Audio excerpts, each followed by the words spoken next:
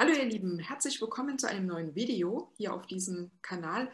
Heute ist wieder der Tobias Steinhäuser dabei vom YouTube-Kanal Tobias Steinhäuser. Hallo lieber Tobias, schön, dass du mit dabei bist.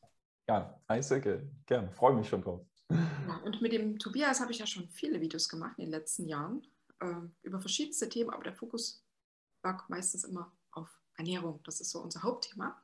Und heute haben wir uns ein spezielles Thema herausgesucht. Wir erörtern ja auch immer verschiedene Themen und wir wollen das heute gemeinsam besprechen, Tobias und ich. Und zwar geht es heute um das Thema die Gefahren von der Lehre von Anthony Williams oder Arnold Ehret oder auch anderen Hypes, anderen Ernährungslehren. Auch nochmal ganz kurz zum Überblick. Anthony William, der hat ja in den letzten Jahren einen sehr großen Zulauf erfahren. Er, er vermittelt ja auch eine besondere Ernährungslehre. Der Fokus liegt auf Obst und Gemüse, auch Wildpflanzen teilweise. Das ist auf alle Fälle erstmal sehr, äh, sehr positiv.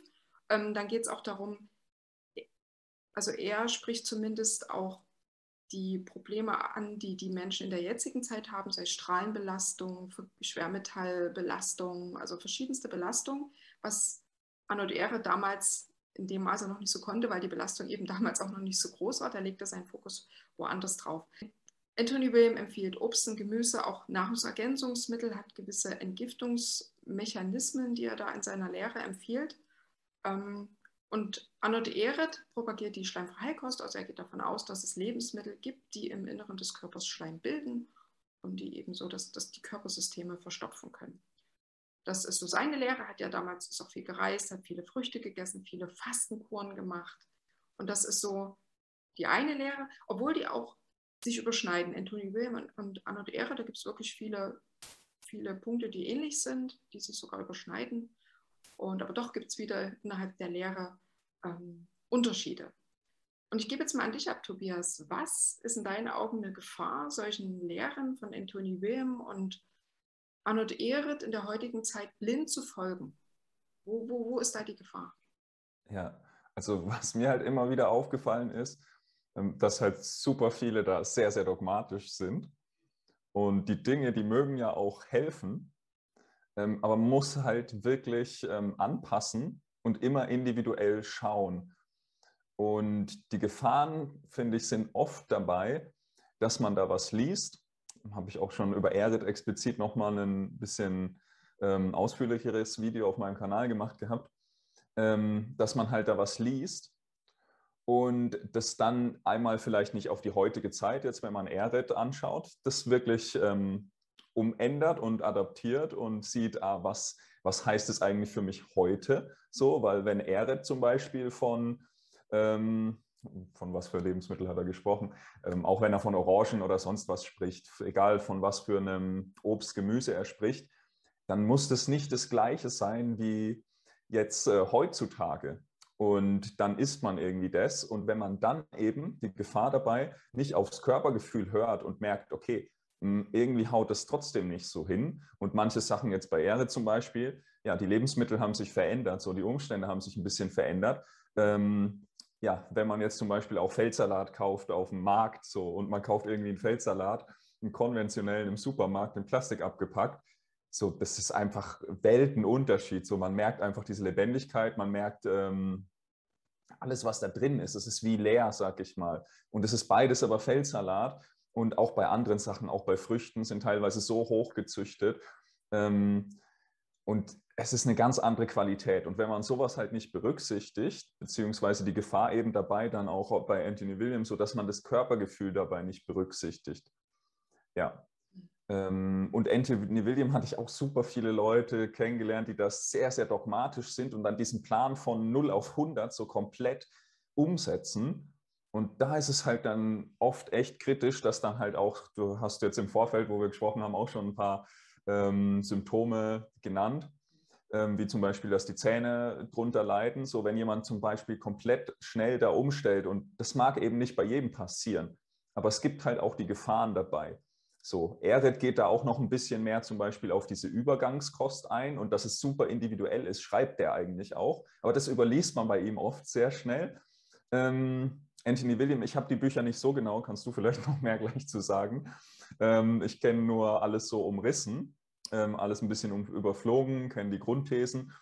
Ähm, genau, aber dieses komplett individueller schauen und dass man da eine Transformation mehr in der Ernährung hat, ist mir bei den Leuten zumindest nicht so aufgefallen. Ich weiß nicht, wie sehr er in den Büchern darauf eingeht, kannst du vielleicht mal sagen. Aber diese große Gefahr, finde ich, ist halt immer wirklich, dass man halt das Körpergefühl nicht mehr berücksichtigt und nicht mehr individuell anpasst und wirklich schaut, weil man kann da so viel falsch machen, wenn man nicht die Erfahrung hat. So. Ähm, und das heißt nicht, dass das eben schlecht ist so. Es ist wie wenn du ein neues Werkzeug nimmst. Ich sage mal, Ered oder Anthony William benutzt du jetzt als Werkzeug.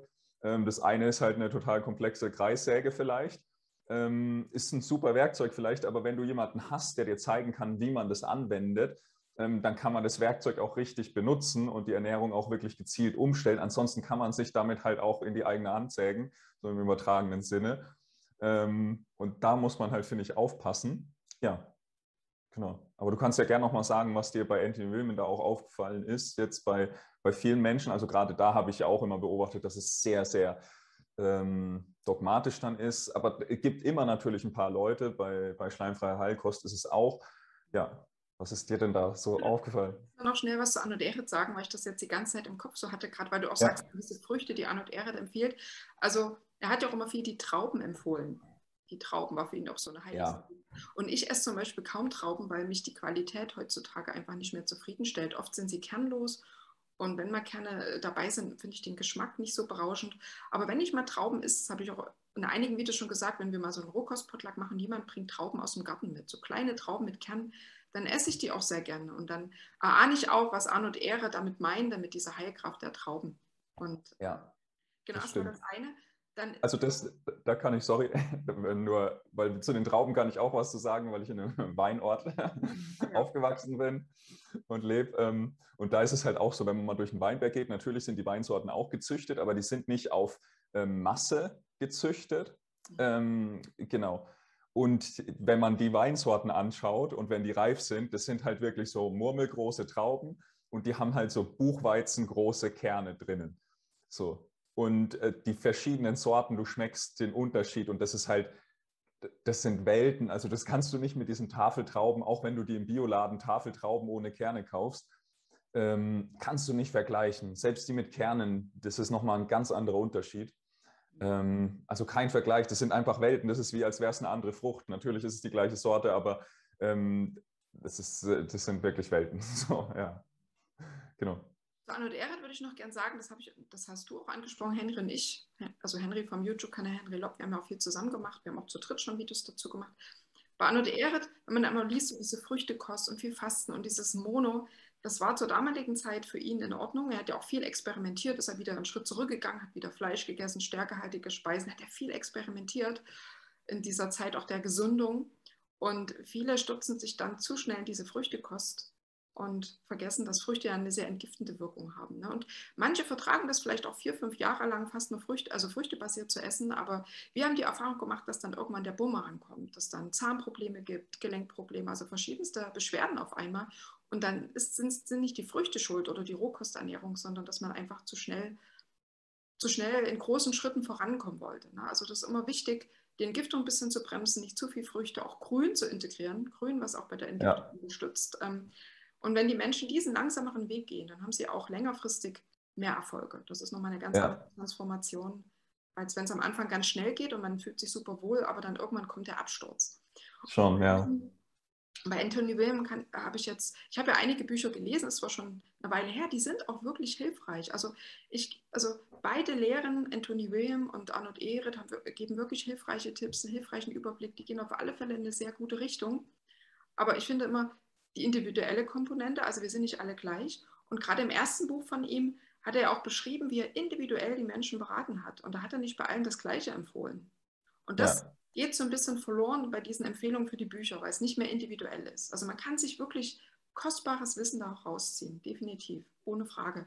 Aber dieses Dogmatische ist mir auch aufgefallen, auch in Gruppen, dass mir Leute schreiben, ja, ich bin jetzt in einer Gruppe, ich habe mal Kritik geübt, dann drohen sie mir mit Rausschmiss oder ich bin schon rausgeflogen oder dass die Leute das einfach, ich meine, ich kann das verstehen, wenn man gesundheitliche Probleme hat. Man geht auf einmal nach der Lehre von Anthony William vor und auf einmal geht es einem total besser, ja. Und man denkt, das ist so die Heillehre, das ist das Beste, aber es ist eben nicht für alle und längerfristig das Beste. Ne? Genau. So bedenken. Und ich habe die Erfahrung gemacht, ich habe das ja so ein bisschen verfolgt in den letzten Jahren.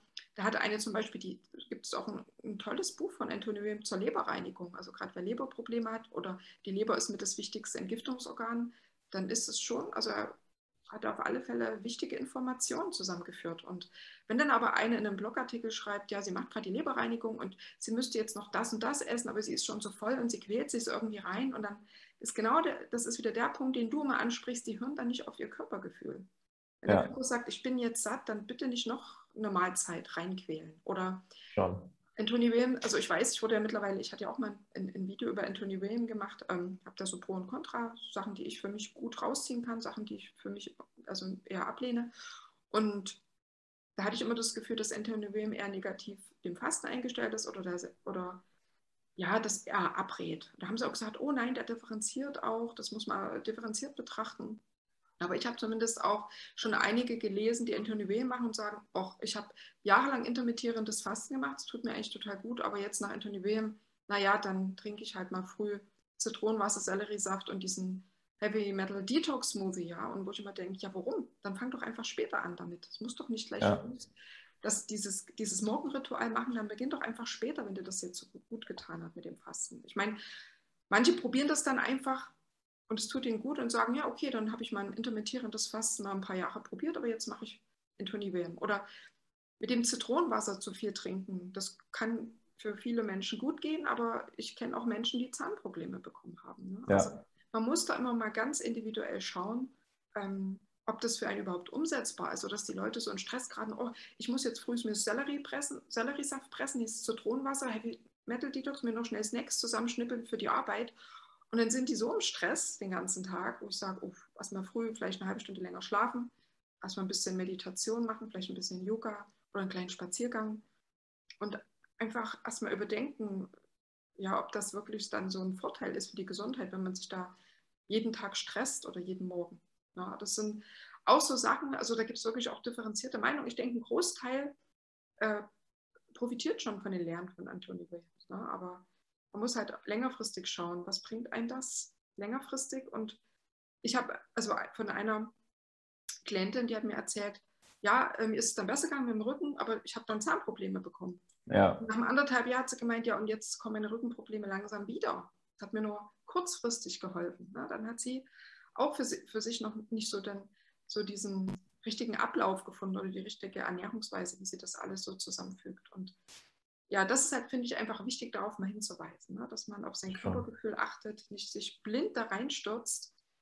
Und du hast ja auch mal einen guten Hinweis auch bei, die, bei deinem Main-Event im August gegeben, wo ich ja auch dabei war, das, oder das sagst du auch, hast du auch in unserem Livestream gesagt, bevor du die Leute an, also mit denen eine Ernährungsumstellung machst, sollen die erstmal ihre Essverhalten überdenken und schauen, Ne, wie essen Sie? Essen Sie achtsam? Essen Sie, kauen Sie gründlich? Welche Mahlzeiten essen Sie? Aus welchen Gründen essen Sie? Ne, wenn man aus ja. emotionalen Gründen isst, wenn man Sachen in sich reinstoppt, dann muss man auch schauen, wie kann man da eine Alternative schaffen, dass man sich erstmal über sein Essverhalten bewusst wird.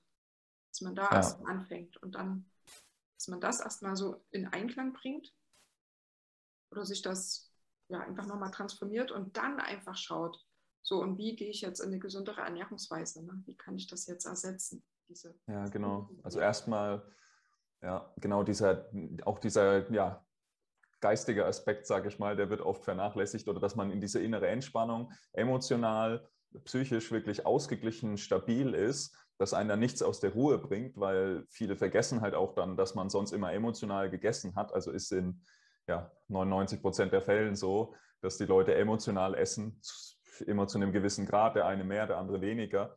Ähm, aber dass man erstmal diese psychische, emotionale Stabilität, Balance findet, weil durch die Ernährungsumstellung kommen dann halt auch viele Themen emotional oft hoch, ähm, ja, was vielen halt nicht so bewusst ist. Genau. Ja. Und halt auch, ja. Dass Anthony William auch so die Mangelernährung oder die, so die, den, die mangelhaften Böden anspricht, ne, dass das Obst und Gemüse nicht mehr oder nicht mehr nährstoffreich ist, aber er legt halt den Fokus auf Obst und Gemüse und auch Bio-Obst und Gemüse hat nicht mehr den, den Nährstoffgehalt wie vor 50 Jahren und deswegen, ja, finde ich auch wichtig. Ich weiß jetzt ehrlich gesagt gar nicht, also vielleicht kann das ein Zuschauer nochmal kommentieren, was Anthony Williams, ob der explizit etwas zur Darmreinigung sagt. Also ich finde, Darmreinigung ist das A und O in der heutigen Zeit, dass man den Darm wieder so weit aufbaut, dass er auch die Nährstoffe die ja schon viel weniger sind, sagt man, als vor 50 Jahren, auch wirklich aufnehmen kann. Ne? Also du kannst ja hochwertige Nahrung in dich reinstopfen, sage ich mal so, auch nährstoffreiche Nahrung, aber wenn der Darm das nicht aufnehmen kann, wenn der Darm nicht in seiner vollen Kraft ist, dann wird es früher oder später auch jetzt keinen Nutzen haben. Ne? Und ja. da finde ich halt auch wichtig, immer den Fokus ähm, Darmreinigung, wie man das unterstützen kann. Oder eben auch nährstoffreiche Kost, so Sprossen, Wildpflanzen, auch Mikroalgen sollen ja nährstoffreich sein. Ich weiß, du nimmst ja auch Spirulina jetzt ja. ne, eine ganze Weile und auch äh, Wildpflanzen und das ist, finde ich, schon wichtig, dass man das immer mal integriert. Aber Anthony Wilm äh, empfiehlt ja, glaube ich, auch Spirulina aus Hawaii, so ein besonderes, weil es in seinen Augen so wertvoll ist und auch Wildpflanzen, das muss man schon sagen. Ja, schon. Ja, allgemein denke ich, ist auch noch so eine Gefahr bei all so Ernährungshypes, dass halt dann immer wieder nur ein Baustein, die Ernährung rausgesucht wird und dann nicht zu sehr ganzheitlich geguckt wird. Und oft ist es ja so, wenn man sich den Alltag, was du ja auch angeschnitten hattest, ähm, anschaut, so die Leute sind so unter Stress, gerade wenn man dann noch von der Ernährung her noch mehr umsetzen soll, ähm, stressen die Leute sich noch mehr. Und wenn man unter Stress ist, dann ist es schon fast in Anführungszeichen, natürlich ist es nicht komplett egal, was man dann isst, aber wenn man unter Stress ist, übersäuert der Körper sowieso, die Verdauung funktioniert alles nicht richtig.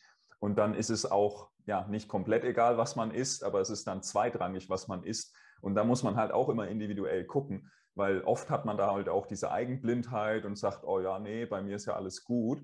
Ähm, wenn man da mal einen Blick von außen hat und jemand guckt da mal auf seine Situation, dann merkt man auch, okay, was, was ist denn da eigentlich vorrangig gerade? Weil bei dem einen ist es so, ja, der ist eigentlich psychisch wirklich ausgeglichen, der hat ein gutes Mindset, so, der ähm, ist emotional wirklich ähm, stabil eben. Und bei dem ist es vielleicht wirklich dann so, wenn der die Ernährung umstellt, hat er super Effekte so. Aber bei anderen ist es so, die sind vielleicht psychisch eh schon nicht so stabil, ähm, sind in keiner stabilen äußeren Situation, wo zusätzlich nochmal Stress dann erzeugt, weil sie nicht so stabil sind.